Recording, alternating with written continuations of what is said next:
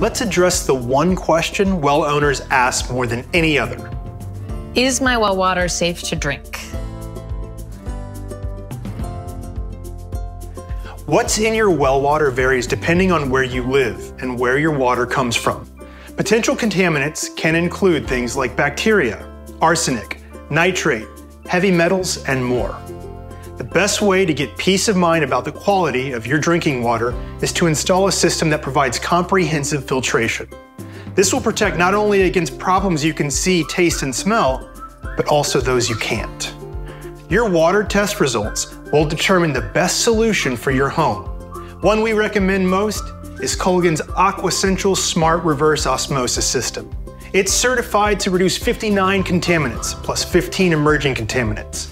And with our unique ClearLink Pro technology, you can get filtered water from your existing tap. Plus, our Wi-Fi enabled smart systems let you get alerts and check performance right from the Culligan Connect app, regardless of where you get your water, what concerns you have, and what solutions you need.